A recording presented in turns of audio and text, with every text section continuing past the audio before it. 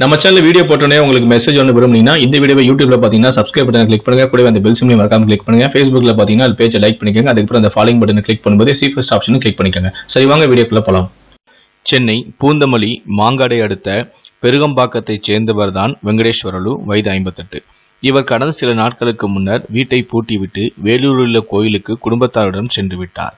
நேற்று முன்தினம் வீட்டுக்கு வந்தவர்கள் தாங்கள் அணிந்திருந்த நகைகளை கழற்றி பீரோவில் வைக்கும்போது ஒரு பெரிய வைரக்கம்மல் மற்றும் நான்கு பவுன் நகை மாயமாகி இருப்பதைக் கண்டு அதிர்ச்சி அடைந்தனர். இது குறித்து மாங்காடு போலீசில் புகாரும் அளித்தனர். புகாரின் பேரில் மாங்காடு போலீஸ் இன்ஸ்பெக்டரான சிட்டி பாபு வீட்டிற்கு சென்று விசாரணை மேற்கொண்டார். பீரோ கதவு உடைக்கப்படாததால் வீட்டில் இருப்பவர்கள்தான் யாரோ நகையை திருடியிருக்க வேண்டும் என்ற கோணத்தில் விசாரணையும் மேற்கொண்டார். மேலும் அவருடைய வீட்டில் வீட்டு வேலை செய்யும் அம்பிகா வயது முப்பத்தொன்னு என்பவரை சந்தேகத்தின் பேரில் அழைத்து போலீசார் விசாரணையும் மேற்கொண்டனர். அவரை கைரேகைகளை எடுக்க வேண்டும் என போலீசார் கூறியதால் பயந்து போன அம்பிகா பீரோவில் இருந்த நகைகளை திருடியதையும் ஒப்புக்கொண்டார். பீரோவின் சாவி தொலைந்திருந்த நிலையில் மாற்று சாவி போடப்பட்டிருந்தது.